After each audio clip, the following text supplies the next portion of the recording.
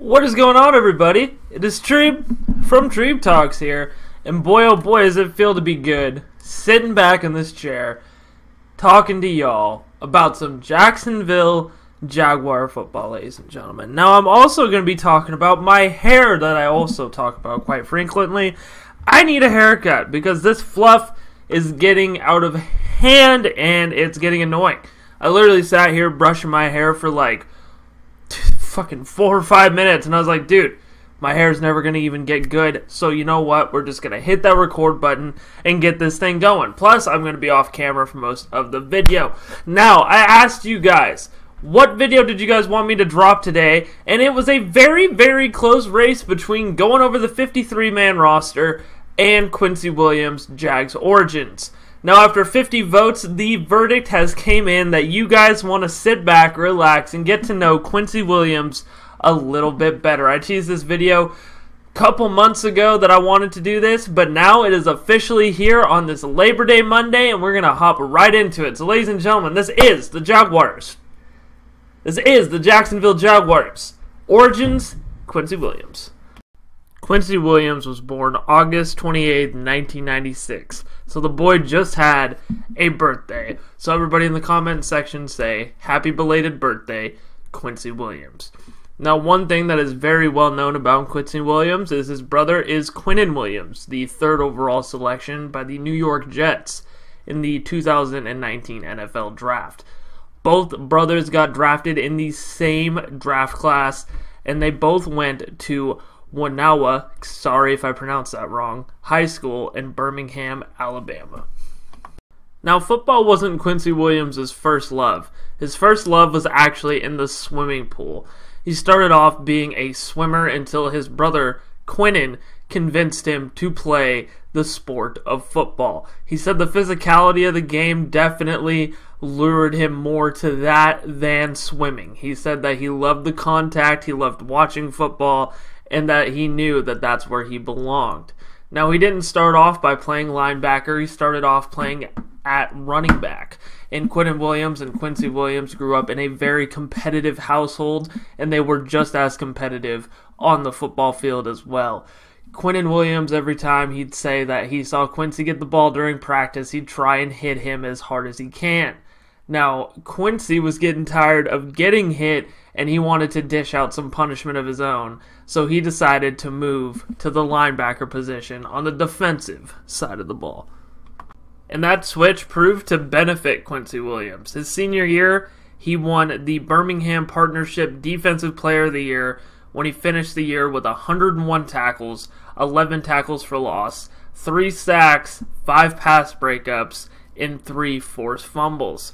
He also garnered first team All Metro honors, named to the Birmingham News All West honorable mention team as a junior, where he registered 85 tackles, 11 and a half tackles for loss, one interception, and five break five pass breakups. Excuse me. He also was a good athlete on the track as well.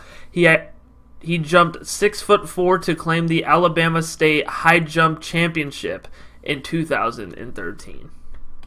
Now, Quincy's brother Quinnen, of course, went to the University of Alabama, one of the, if not the most powerful powerhouse football team in the entire college football ranks.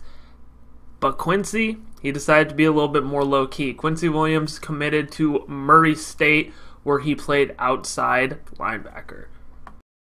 Quincy Williams was never a flashy player as far as stats go in college. His first season, he made 32 tackles with 13 solo tackles, recorded one pass breakup, and four quarterback hits. In 2015, he played in 11 games with three starts. He made 31 tackles with a career high, eight against Eastern Kentucky.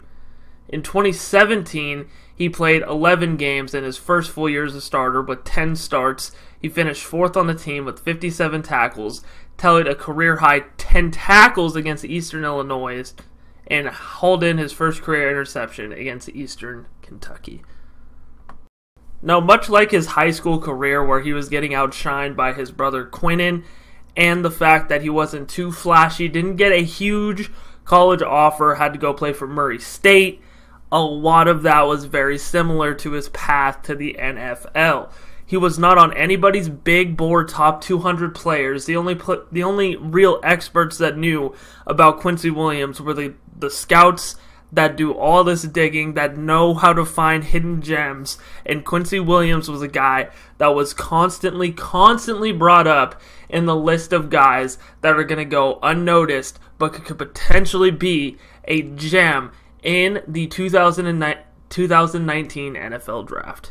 In fact, Quincy Williams was so unknown that he didn't even have a highlight package to be played during the NFL draft, and analysts were confused as to who this player was. They had nothing to show. He wasn't at the draft.